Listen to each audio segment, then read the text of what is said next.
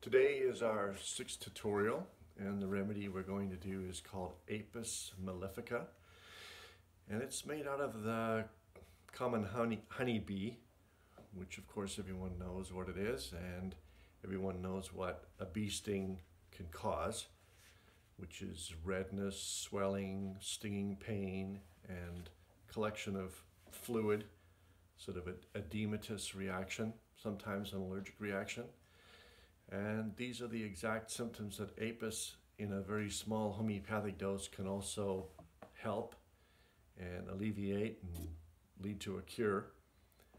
Uh, so perhaps you could think of some of the things, some of the medical conditions that end up in swelling, redness, edema, stinging pain, worse from heat. So I'll leave that with you to think about for a minute. But I want to just talk about the history of this remedy you know, in homeopathy, we've since 1790, since Hahnemann started to do his work.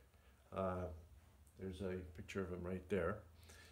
Uh, so when he first discovered the law of similars, um, he himself did about 100 remedies. He did provings on 100 remedies.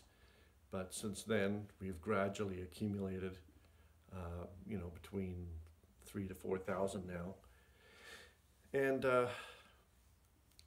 I don't know how long ago exactly, but when the settlers were first coming to the United States, there was a case of a young girl who was born and she was uh, her kidneys weren't functioning and she was unable to urinate. So she swelled up more and more uh, and they thought she was going to die and the regular doctors in the, in the, in the village didn't know what to do. And they called the homeopathic doctor, and the homeopathic doctor had no remedy either for that condition. So they called upon the local Indian healing person who happened to be a woman. And she said, well, this, this is, can be easily helped. All we need to do is get some bees and boil them in water and have the baby uh, drink this water. And they did that, and then the kidney started functioning and all the urine started flowing out and the edema went away and the child recovered. So from then on, they would, that homeopath uh, made, a, made a note of all that and we made a homeopathic remedy out of uh, apis or, or, you know, bees, bee venom. And it's turned out to be an extremely effective remedy. Uh, we use it mostly for allergic reactions when there's a allergic reaction with lots of swelling, especially if it cuts off the, the breathing.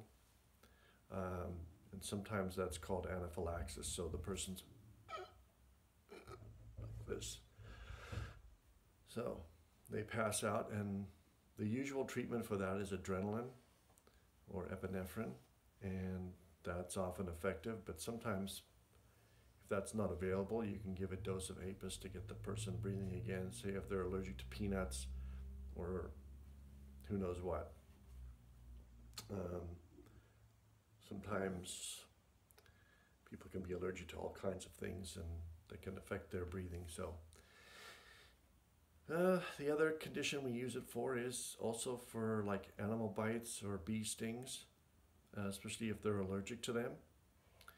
Um, urticaria is another one where there's sort of uh, skin swelling and uh, um, hives and itching and all that type of thing, especially if the hives are worse from heat or hot compress or hot water, anything, anything to do with heat. Apis, um, apis can be helpful if the person's worse from heat.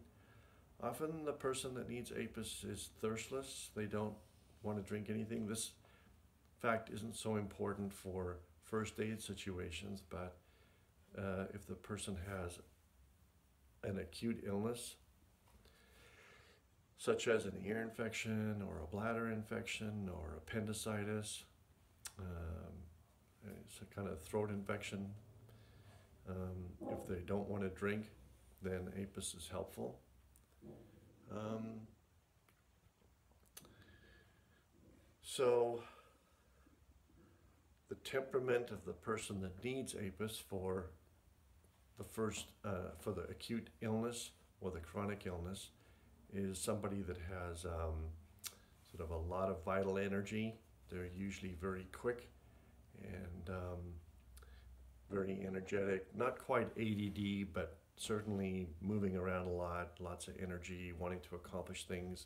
They can be quite focused, but uh, they're very loyal people and they can be quite jealous and they, their anger can be very sudden and quick uh, as a reaction to a stress.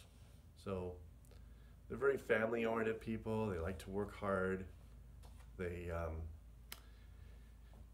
like I said, they're loyal. They're, they have friends. They get very close to people. But if something is upsetting them and something's going wrong, then they can get suddenly very angry or they can get jealous quite easily. So they tend to get, these people tend to get allergic reactions, as you can imagine, uh, asthma, uh, different types of infections, uh, headaches, um, probably some stomach problems. Um, so anyway, that's the uh, the remedy APIS, but uh, it's good to have it for first aid, especially for bites and stings from insects, and um, maybe allergy to sunburn would be another another use for it. Anyways, I hope you can get it for your first aid kit.